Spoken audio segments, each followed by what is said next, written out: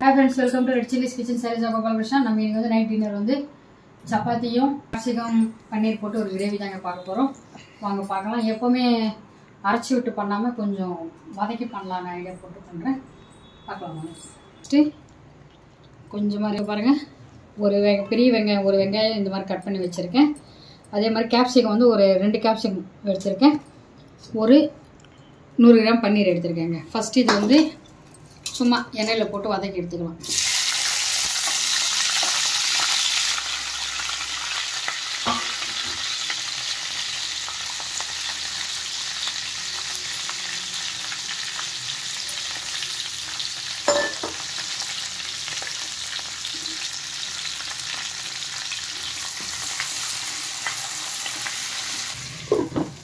ஒரு செகண்ட் இந்த மாதிரி ஏன் வதக்குறோன்னா கலர் மாறாமல் இருக்கும். நம்மளுக்கு கொஞ்சம் க்ரன்ச்சியாக இருக்கும். வெங்காயம் கேப்சிகம் எல்லாமே. நம்ம ஃபஸ்ட்டு தக்காளி வெங்காயம் வதக்கும் போது இதுவும் சேர்த்தோம்னா கேப்சிகம் ரொம்ப வதங்கின மாதிரி இருக்குது அது மாதிரி ஃபஸ்ட்டு இந்த மாதிரி கொஞ்சமாக எண்ணெய் விட்டு வதக்கிட்டு ஒரு தனியாக எடுத்துன்னு கடைசியில் போட்டு சாப்பிட்டோம்னா கொஞ்சம் க்ரன்ச்சியாக இருக்கும். அது கொஞ்சம் பச்சை தரம் அப்படியே இருக்கும். அதனால் இந்த மாதிரி பண்ணுறோம்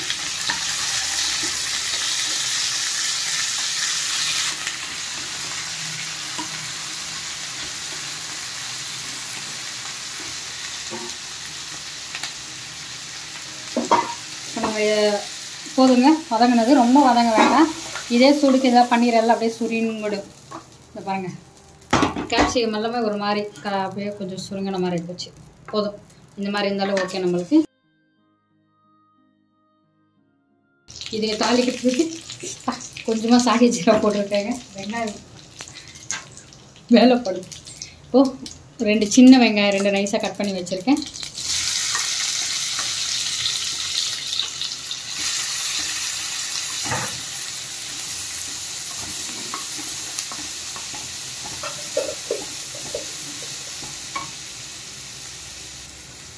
இஞ்சி பூண்டு பேஸ்ட் வந்து ஒரு அரை டீஸ்பூன் போட்டிருக்கேங்க.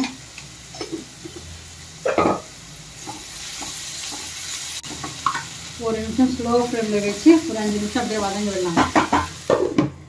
அதுக்குள்ளே நம்ம வந்து தக்காளி அரைச்சிட்டு வந்துடுறேன். தக்காளி பாருங்கள் ஒரு மூணு தக்காளி இந்த மாதிரி கட் பண்ணி வச்சுருக்கேங்க. மீடியம் சைஸ் தக்காளி. இப்போ நம்ம இது மிக்ஸி போட்டுக்கலாம்.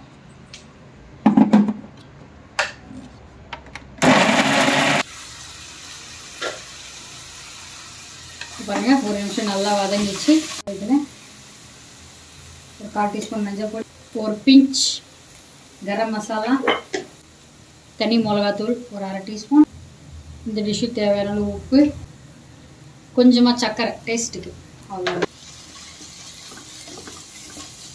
ஒரு நிமிஷம் ஹை ஃப்ளேவரில் வச்சு நம்ம அரைச்சி விழு தக்காளி விழுது இருக்குங்களா அப்படியே சேர்த்துக்கலாம் கொஞ்சம் தக்காளி அங்கங்கே தெரிகிற மாதிரி இருக்கணுங்க நல்லா இருக்கும். இதில் கொஞ்சமாக தண்ணி வச்சு மிக்ஸி ஜார் அளமே தண்ணி ஊற்றிடலாம் இப்போ இதில் கொஞ்சமாக தண்ணி ஊற்றிடலாங்க கொஞ்சம் நல்லா கொதிக்கிட்டும். அப்புறமா நம்ம வதக்கின பன்னீர் இதெல்லாம் நம்ம சேர்த்துக்கலாம். இப்போ கொஞ்சம் உப்பு காரம் செக் பண்ணிக்கலாம். ஏன்னா இதுக்கும் சேர்த்து தான் நம்ம உப்பு காரம் செக் பண்ணிக்கணும்.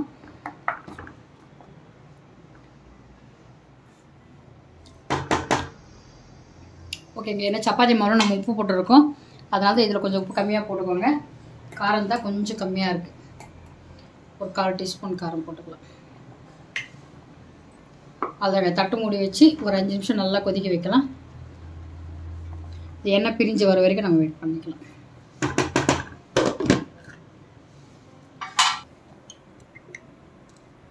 இது பாருங்க கொஞ்சம் மிச்சமான ரைஸ் மதியான ரைஸ் கொஞ்சம் இருந்தது. எங்கள் வீட்டுக்காரர் ஊருக்கு போயிட்டார். இப்போ தான் வந்தார் அவர். சரி அந்த ரைஸ் அப்புறமா பழுது வச்சோன்னே இந்த கிளைமேட்டுக்கு வந்து சாப்பிட மாட்டேன்றாங்க ஜில்லுன்னு இருக்கிறதுனால. கொஞ்சோட ரைஸை இப்போ நம்ம வறுத்து வச்சுருக்கோம்ல பன்னீர் வெங்காயம் கேப்சிகம் கொஞ்சோட பெப்பர் உப்பு மட்டும் போட்டு கொஞ்சமாக பட்டர் போட்டு ஃப்ரை பண்ணி எடுத்துட்டாங்க. இப்போ இந்த சாப்பாடு கொஞ்சம் சப்பாத்தி ரெண்டு ரெண்டு சப்பாத்தி சாப்பிட்டாங்கன்னா ஒரு ஒரு பிடி சாப்பாடு சாப்பிடுவாங்க இல்லைங்களா?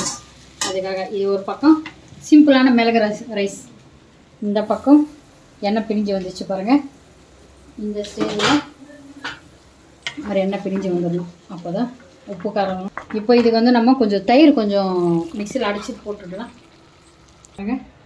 ஒரு ரெண்டு கரண்டி தயிர். என்ன சொன்னேன் ஃப்ரிட்ஜில் வச்சுக்கணும் இப்போ தயிர் நம்ம மிக்சியில் ஒரு ஓட்டு ஓட்டிக்கலாங்க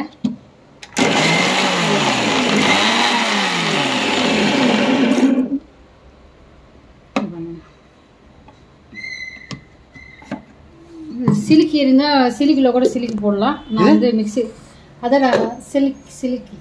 எ- என்னது என்னது திருப்பி சொல்லுங்க. ஏய் போ. இப்போ நம்ம இப்போ நம்ம ஃபர்ஸ்ட்டில் வறுத்தோம் இல்லைங்களா? இதெல்லாம் இதில் சேர்த்துடலாம்.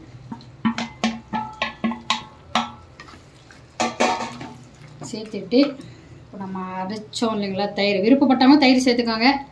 வேணான்னவங்க அவாய்ட் பண்ணிக்கலாம். ஒன்றும் பிரச்சனை இல்லை. ஒரு கொஞ்சமாக தண்ணி. ரொம்ப மிக்ஸி ஜாரில் இருக்கு இல்லைங்களா அதுக்காக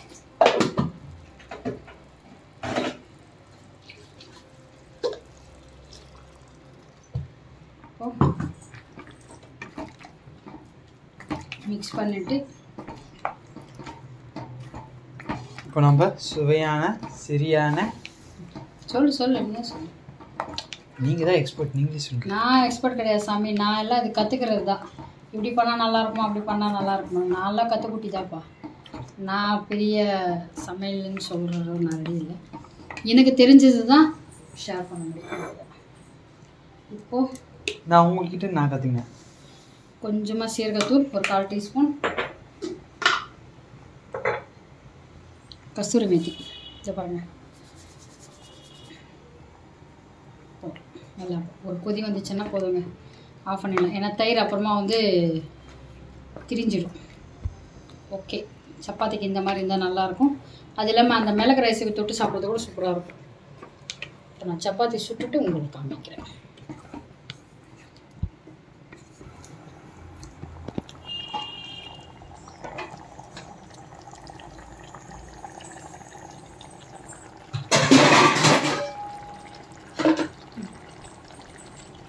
பாருங்கள் ஒரு கொதி வந்துச்சு.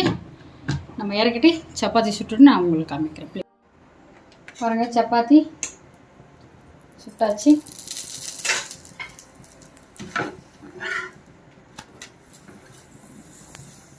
இது ஃப்ளாக் சீட் சப்பாத்திங்க. பயங்கர சாஃப்டாக இருக்குது செம்மையாக இருக்குது ட்ரை பண்ணி பாருங்கள் ஹீமோக்ளோபின் கம்மியாக இருக்கவங்க த தாராளமாக சாப்பிட்லாம். எனர்ஜிக்கு எனர்ஜி கிடைக்கும். அது இல்லாமல் இந்த ஜாயிண்ட் பெயின் கம்மியாகிறதுக்கு ரொம்ப நம்மளுக்கு சப்போர்ட்ஃபுல்லாக இருக்கும். இப்போ நம்மளுக்கு சப்பாத்தி ரெடி ஆல்ரெடி நான் சப்பாத்திங்க சுட்டு வச்சுட்டேன். சப்பாத்தி.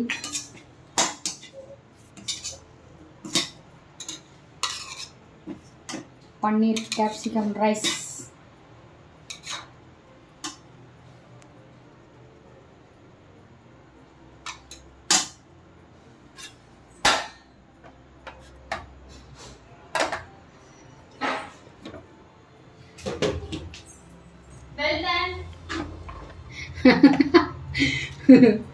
யாரோ ஒன்று கூவின்னு இருக்காங்க அங்கே நானி நம்மளுக்கு capsicum paneer gravy ready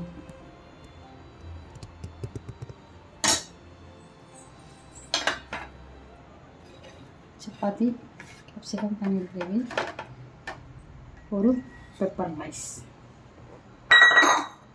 sorry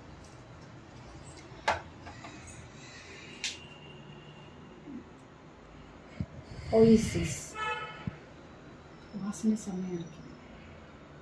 சாப்பிட்றலாமா first எப்போவுமே சமைக்கிறவங்க ஃபஸ்ட்டு சாப்பிட்றாங்கன்னா திரும்ப வேலை செய்யலாம் அடுத்தவங்களுக்கு நம்ம டிஃபன் போட்டு கொடுக்கலாம் அடுத்தடுத்து வரவங்களுக்கு. அவங்களுக்கெல்லாம் போட்டு கொடுத்த கடைசியில் நம்ம சாப்பிட்டோம்னா நம்மளால முடியல. பயங்கரம் எனர்ஜி வேஸ்ட் ஆகும் எங்கள் வீட்டில் இப்போது ஃபஸ்ட்டு சமைச்சது நான் சாப்பிட்டதே அப்புறமா அவங்களுக்கு வச்சுன்னு இருக்கு. ஏன்னா நான் தெம்பாக இருந்தால் தான் மற்றதெல்லாம் அவங்களுக்கு பார்க்க முடியும். அதனால்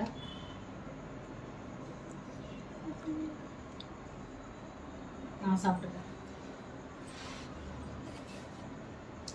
ம். இது பெப்பர் ரைஸ் நல்லா இருக்குங்க. சிம்பிளாக பண்ணாவும் நல்லா இருக்கு. ஆக்சுவலாக ஃபஸ்ட்டு ஃப்ரை பண்ணது அது. சப்பாத்தி பி ஆறுன பிறகு கூட சூப்பராக இருக்குங்க இது.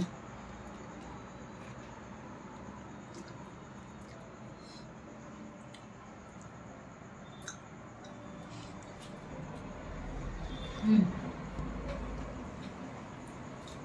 நல்லா இருக்கு. இந்த இடத்துல நீங்கள் தயிர் பிடிக்காதவங்க ஃப்ரெஷ் க்ரீம் சேர்த்துக்கலாம். நான் தயிர் எங்களுக்கு பிடிக்கிறதுனால நான் வந்து தயிர் சேர்த்துருக்கேன். இல்லைன்னா கொஞ்சம் பாதம் முந்திரி கூட அரைச்சி போட்டுக்கலாம். இன்னும் நல்லாயிருக்கும் அது ரொம்ப ரிச்சாகிடும் சொல்லி தான் நார்மலாக நம்ம வீட்டில் இருக்கிற பொருள் வச்சு பண்ணுறதுக்காக தான் இந்த மாதிரி பண்ணேன். நல்லா